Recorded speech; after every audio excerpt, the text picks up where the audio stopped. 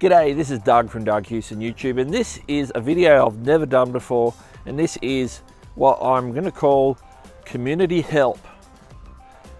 So in this video, we're looking for input and feedback from you, the community. It's a YouTube issue, and it's to do with iOS devices. So stick around, and we'll get right into it. Well, this is your first time to the channel. My name's Doug and we do tech for content creation and today we're doing a bit of a, a, YouTube iOS mishmash here. It comes to my attention from one of my subscribers that the iOS YouTube app when doing live streams is now broadcasting the picture mirrored. And when I say mirrored, instead of you know things looking the way they do here on the video, they're reversed like this. So basically, switch it back.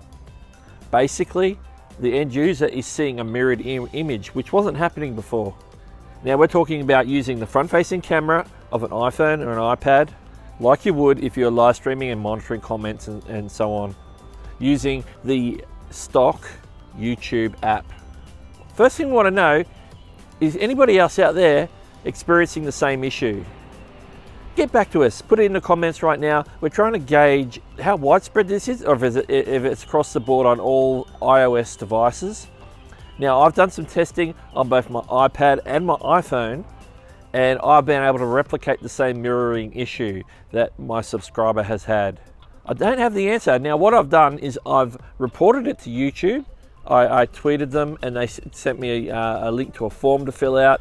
Now, of course, YouTube don't get back to you on these things. It's like a bug tracking report. You submit it and they look into it, but they don't necessarily get back to you unless they want more information from you.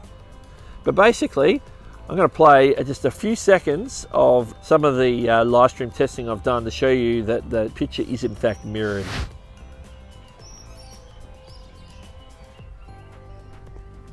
So there you have it.